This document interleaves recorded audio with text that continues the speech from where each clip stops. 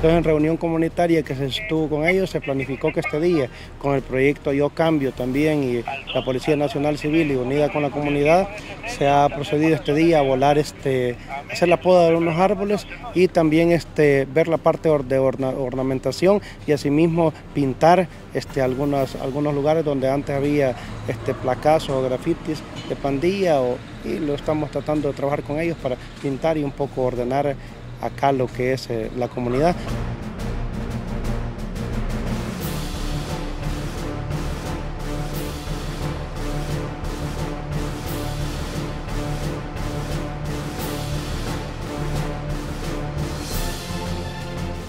Hay muchos proyectos que como policía haremos